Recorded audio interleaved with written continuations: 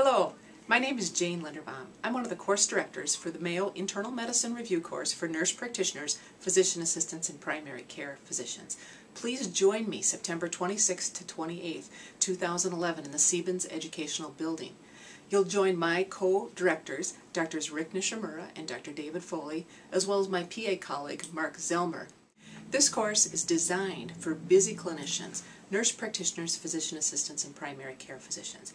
Anyone caring for um, patients with acute and chronic conditions in a daily practice.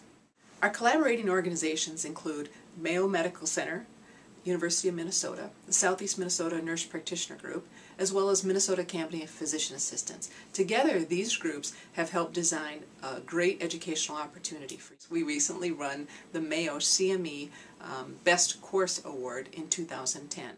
This award is awarded to the course that scores in the top 2% of all Mayo Clinic CME activity.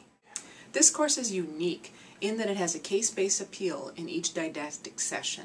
You also have the opportunity to tailor your own educational experience by choosing a variety of breakout sessions to make your educational experience personalized to meet your practice needs and your personal educational needs. A typical day at this course would involve a morning continental breakfast with an opportunity to network with peers. You'll hear some didactic and interactive sessions have the opportunity to ask and hear multiple answers of our expert presenters.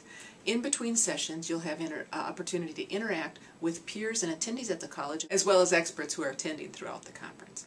Our goal in organizing this course is to provide for you late-breaking, evidence-based clinical information that you'll be able to use in the care of your patients starting on the day you return to your practice.